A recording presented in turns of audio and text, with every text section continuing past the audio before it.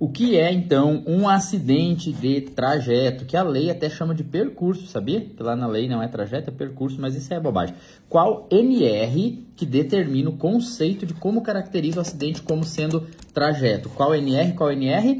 Nenhuma NR não tem nada a ver com o conceito de acidente. Ele é um conceito previdenciário previsto aqui, ó, na Lei 8213 de 1991, no seu artigo 21, que é o que se equipara acidente de trabalho, no seu inciso quarto, e finalmente a gente entendeu por que, que a gente aprendeu essas porcaria de número romano lá na oitava série, porque a gente vai aprender a ler a legislação nos incisos, que é número romano, e letra D. Então, se você for na Lei 82.3, artigo 21, inciso 4, letra D, você vai encontrar o conceito de acidente de trabalho, que é o seguinte, ó.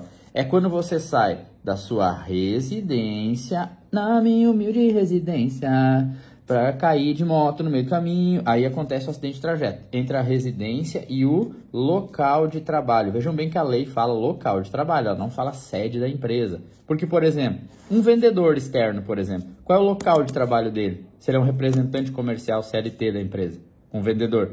O local de trabalho dele é no cliente. Então, isso aqui tudo vocês têm que considerar na hora da investigação e caracterização. E como que pode ser o, a, a, a ocorrência, tá, pessoal? Imagina que ele está de ônibus de serviço público, aí, ou serviço, sei lá, de, de transporte público. Aconteceu acidente no ônibus, é trajeto. Se ele está de carro, ou se ele está no Uber num carro, acontece acidente, é acidente de trajeto. Se ele está de motinho, ou de bicicleta, ou de bicicleta motorizada, ou de patinete, ou de qualquer coisa, tá? É acidente de trajeto. Se ele está de skate, é acidente de trajeto. Se ele está... Você tá rindo, Jéssica? A Jéssica tá rindo. O que que, se ele tá de a pé e torce o pé, é acidente de trajeto. E se ele tá nisso aqui, o que que é isso aqui, Jéssica? Parece um tapete voador. É um tapete voador. Se ele tá de tapete voador e ele cai do tapete voador, se é o veículo que ele tem, vai ser acidente de trajeto. Aí tem umas questões que o pessoal começa a se questionar sobre acidente de trajeto, né? Ah, mas e se a empresa dá vale transporte, ele assina lá um termo de compromisso que é proibido, que dá advertência, que ele não pode com o veículo próprio. E ele resolve com o veículo próprio vai com a motinha dele. É acidente de trajeto também? Sim ou não? A empresa deu vale transporte, ele assinou. Sim, é acidente de trajeto sim. Sabe por quê? Porque nenhum procedimento interno de empresa se sobrepõe a uma coisa chamada lei. E lá na lei 8213 fala isso aqui, que é o acidente ocorrido entre residência e local de trabalho, inclusive com o veículo do próprio segurado. Ela não faz ressalvas. Ah, mas se a empresa der vale transporte, se não sei o quê. Ela simplesmente diz isso. Depois a empresa pode dar advertência, pode demitir, pode fazer o que quiser, mas não pode deixar de caracterizar acidente. Outras questões.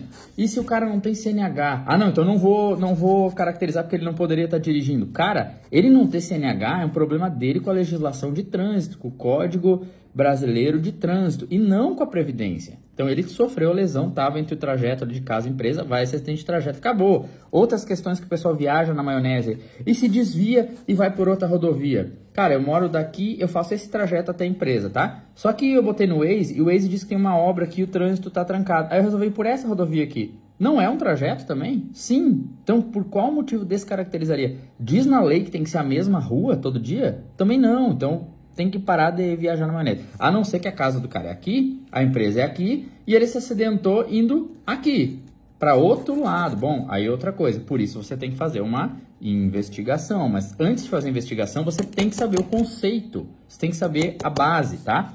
E se desvia para outra rodovia, e se o documento do veículo está vencido, e se o cara tá bêbado, drogado, e se foi um assalto, ele tomou uma facada, não interessa. Se aconteceu a lesão entre o local de trabalho e a residência vai ser caracterizada acidente de trajeto. Então pare de viajar na maionese, tá?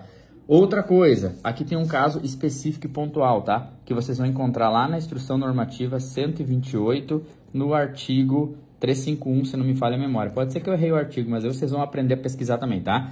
E se eu tenho dois empregos? Eu saio da empresa A e vou direto para a empresa B, do meu contrato de trabalho na primeira empresa e vou assumir o meu cargo lá no meu contrato de trabalho da empresa B, tá? E no meio do caminho, entre uma empresa e outra, eu sofro um acidente. Sabe o que, que acontece? Isso aqui que está previsto na IN é uma exceção da lei. Então a IN prevê que, neste caso, quando tem dois vínculos e entre um vínculo e outro, o segurado sofre um acidente, as duas empresas têm que emitir CAT. Olha que doideira. O mesmo acidente gera duas CAT. E se for para INSS, vai ter B91 nas duas empresas, vai ter um benefício vinculado em cada CNPJ. E ele vai ter estabilidade no emprego nos dois empregos. Olha só que loucura. E aí, se você achou interessante esse vídeo, deixa pelo menos um comentário e curte ele para eu saber. E outra coisa, eu ainda tenho mais ou menos 30 vagas para o nosso aulão sobre LTCAT, financiamento da aposentadoria, PPP eletrônico, agente nocivo, enquadramento, efetiva exposição, neutralização, GFIP, tudo isso. Nós vamos falar na terça-feira, às 20 horas, terça-feira, dia 5, né, Jéssica? Dia 5, terça-feira, 20 horas, vai ser pelo Zoom, por isso que só tem 100 vagas, tá? Valorzinho simbólico aí de 30 reais. É só fazer um filtro mesmo para tirar aquela galera que só quer modelinho e tudo de graça. E se você tiver interesse, chama no direct. Tchau.